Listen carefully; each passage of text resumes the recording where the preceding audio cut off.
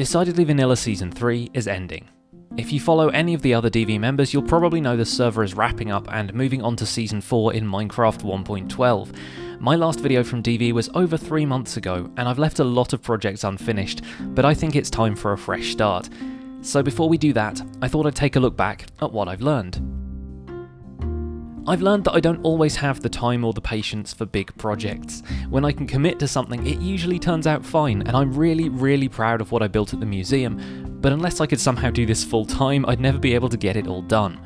What I'm left with is a bunch of great ideas, but not enough substance behind them, and that's something I'm going to be working on in Season 4. I've learned that community, both on and off camera, is more important to me than any one server or project. The vanilla Minecraft community is a really awesome place, and that's what keeps me coming back, even if I end up dipping into modded servers like The Division every now and again. I've learned to fly.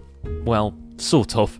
And even if we end up travelling further than we expect, we can always make it back home. I want to thank all of you for watching Decidedly Vanilla and especially my patrons whose support helps me feel like I can dedicate more time to making these videos. Decidedly Vanilla Season 4 is just around the corner and I've already got some great ideas cooking. I hope you guys are excited to join me for the ride. My name is Pixlriffs and Decidedly Vanilla will return very soon. Bye for now.